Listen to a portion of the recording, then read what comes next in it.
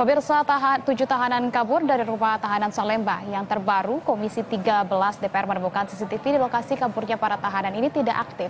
Bahkan DPR juga menyoroti sistem keamanan rutan yang masih saja tidak sesuai dengan standar operasional.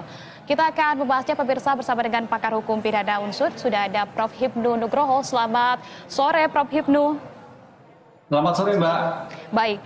Prof, kita akan membahas terkait dengan hal ini. Kalau tadi tentu kita lihat tampak dari luar, Rutan Salemba ini memang bangunan tembok yang tinggi dengan pengamanan yang super ketat begitu ya. Tapi menariknya Prof, tahanan ini bisa kabur lewat gorong-gorong atau selokan. Tadi yang sudah disampaikan ataupun digambarkan oleh jurnalis kami, Prof. Bagaimana komentar Anda? Ya, begini Mbak. Kita harus melihat tahanan yang kabur itu kualifikasinya apa kalau ini kualifikasinya adalah bandar narkotika, itu pasti sudah bisa memprofil bagaimana kondisi daripada rutan Salimba. Berapa petugasnya, bagaimana alat CCTV atau pendukung sebagai faktor keamanan. Sehingga sudah diprofil. Ini ini suatu yang yang sudah terbiasa kalau kita kaji, Mbak.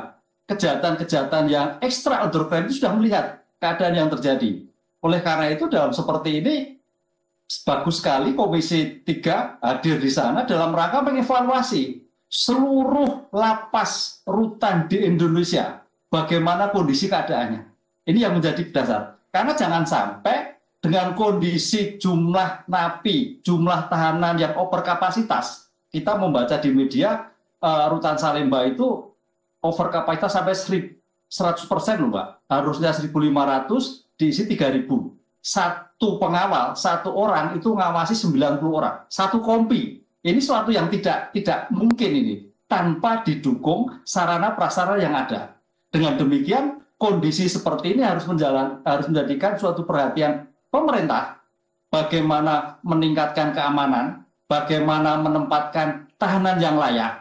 Sebab kalau 190 100 persen ini sudah tidak layak sudah kalau kita orang Jawa kayak gesek lah, kayak rempeyek. Ini yang sudah yang kita lihat, apalagi yang daerah-daerah tertentu. Ini yang menjadi masalah. Oleh karena itu, saya kira ini satu satu yang tepat sekali. Bagaimana kondisi di lapangan, bagaimana sarpras yang ada, bagaimana SDM yang ada, sehingga dalam suatu sistem peradilan pidana, lapas rutan tidak menjadi suatu yang menjadikan suatu uh, perbincangan tersendiri. Karena apa bagaimana juga lapas, rutan adalah sebagai supporting dalam suatu sistem peradilan pidana. Karena tahanan ini kan seorang terdakwa yang ditempatkan tertentu dalam proses peradilan. Sehingga dalam seperti ini kecepatan seorang dihadirkan kenapa di Salemba dalam rangka persidangan cepat. Ya. Ini dilakukan. Oleh karena itu negara juga harus memberikan jaminan yang utuh. Jadi jangan ya. sampai SDM lapas jadi bulan-bulanan begitu Mbak. Baik. Nah, jangan sampai SDM lapas menjadi bulan-bulanan begitu. Tapi kita juga menemukan bahwa uh, tentu hasil dari tadi investigasi ataupun maksud kami adalah uh, penyidikan penyidakan begitu ya oleh Komisi 13 menemukan bahwa CCTV di lokasi ini mati begitu.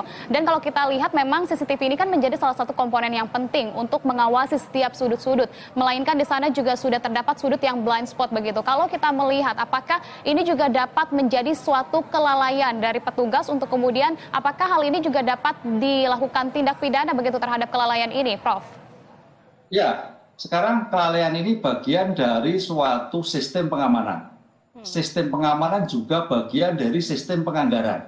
Jadi tidak bisa dikatakan sebagai bentuk kelalaian. Paling tidak karena ini sebagai suatu sistem, suatu kelembagaan. Sehingga dalam hal seperti ini ya harus merupakan suatu kesatuan.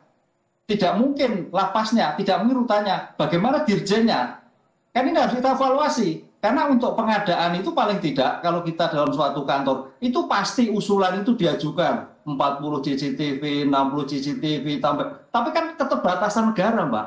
Anggaran yang ada. Ini yang saya kira juga menjadikan suatu problem tersendiri. Sehingga dengan demikian kondisi sistem peradilan pidananya sekarang yang tidak mampu menampung rutan, tidak mampu menampung LP, makanya kebijakan sekarang itu bagaimana pemerintah melakukan restoratif justice. Itu kalau tindak pidana umum. Kalau ini tindak pidana narkotika, ada suatu penanganan tersendiri.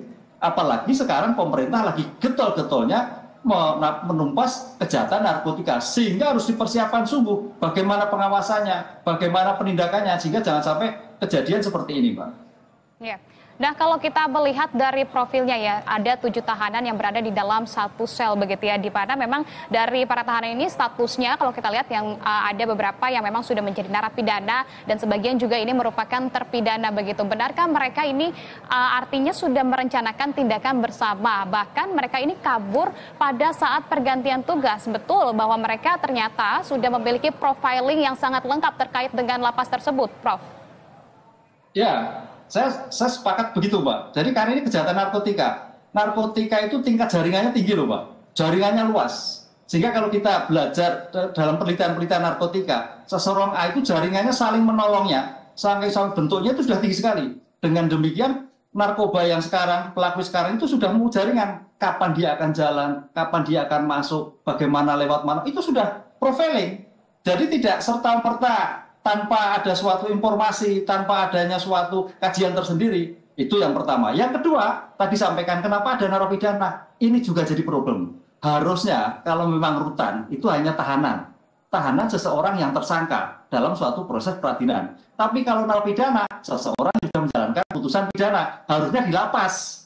LPG Pinang Nusa Kambangan kah, dan sebagainya. Ini yang kadang masih terjadi di seluruh Indonesia Mbak yang nah, apa, tahanan taruh di lapas. Yang LP ada di tahanan. Ini saya kira sesuatu yang tidak sesuai SP. Tapi lah situasi kondisi yang situasi dalam kondisi over kapasitas. Sehingga tidak mau mana yang kosong itulah yang ditempati, mana yang longgar itulah yang tempat. Ini yang terjadi. Sehingga kalau memang tadi eh, Bapak-bapak DPR itu melakukan panja, saya kira sepakat evaluasi total sehingga ke depan penjara kita, LP kita itu betul-betul menjadikan LP yang bersifat uh, menjadikan LP yang betul-betul disegani hmm. sehingga seorang itu tidak takut, kemudian seorang itu menjadikan suatu tidak bisa berdaya apa-apa karena ketetatan terhadap perbuatan yang dilakukan sehingga menjalani suatu pidana harus dengan betul-betul insaf menjadi suatu sikap menjadi apa sikap uh, apa namanya tidak akan mengulangi kembali begitu okay. Pak. Ya, oke baik kalau begitu kita nantikan tentu kita berharap juga ini para narapidana dan juga terpidana yang kabur ini segera ditangkap dan semoga dari uh, infrastruktur maupun tadi sistem yang ada di lapas ini segera diperbaiki. Prof, kalau begitu terima kasih atas waktunya dan kebersamaannya. Selamat sore, Prof.